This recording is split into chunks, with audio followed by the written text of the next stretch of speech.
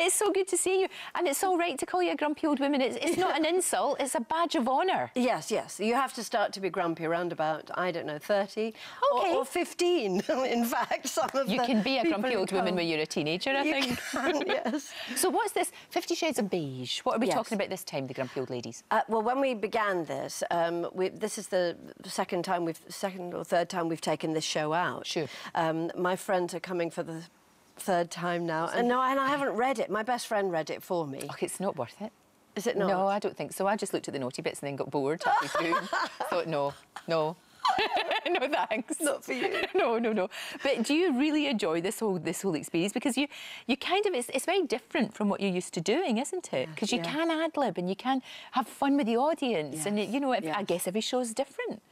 Yes, it is. I mean, I don't ad lib because I'm not a writer and I'm, I, I wouldn't know how to construct a sentence that was funny.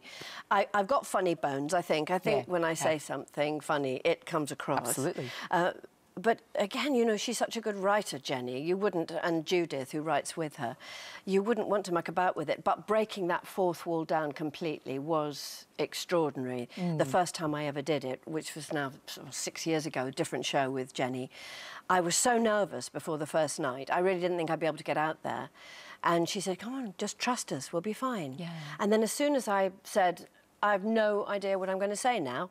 And uh, the audience just thought it was the funniest thing, you know, since French bread. And she told me what to say, and off we went. And I just, oh, they really, I can literally talk to them. You and can. look them in it's the eye. right. and- but that was so Oh, different for you to do that. So to, different, To so the audience, different. I mean, against the law. I know. Wonderful. Last But a really, really good experience. And, Yes. and again, you know, that doing it with all these women that you know really well, you trust each other, it just works. Yes. It works. It's a great, I mean, it's, it's because what we're watching on the stage is we all relate to it. Yeah. It's very much like what, what Victoria Wood used to, let, used to write. We, we would watch it, and the reason we were laughing is because, yeah, We identified with it. totally Yeah, identified with it. I mean, she was just a genius. And I know you worked with her so, so closely. Oh, she was brilliant. just brilliant. And I loved your announcer. Oh, yeah, She was yeah. fantastic. What fun. What a gift, what a gift that I was know. to do. But you know what? I didn't realise that you draw and you sketch and you love to do that as well. Well, that's a great thing about going out on tour because uh, if you've got time to kill during the day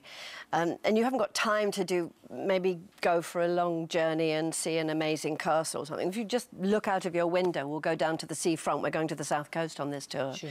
And, um, and I will take my little uh, journal.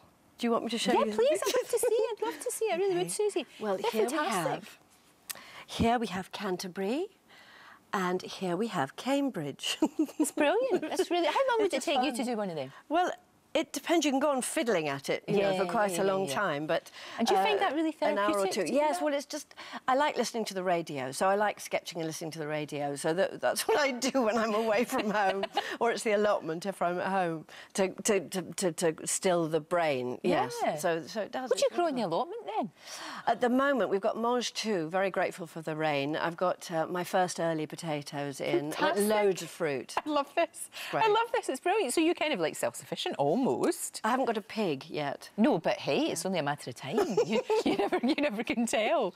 I think that's absolutely. But who's looking after it though while you're on tour? I, I've got friends moving in. My sister-in-law. I'm going Good. to yeah, get her down there with the Uh, hose. Well, you, you, don't want it to get all overgrown. I mean, no, no, no. You do not. You get told off. No, absolutely. It has to be. It has to be. It has to be absolutely Pristine, right. pristine. No, look, we love seeing you in Corrie. Is that something that you could go back to? Do you ever think? I mean, she was never, you know, she was never sort of written out as such. She, She just, didn't. She didn't. Um, no, uh, uh, there was a drinking now. possibility. There's you and Keith Duffy. That was naughty.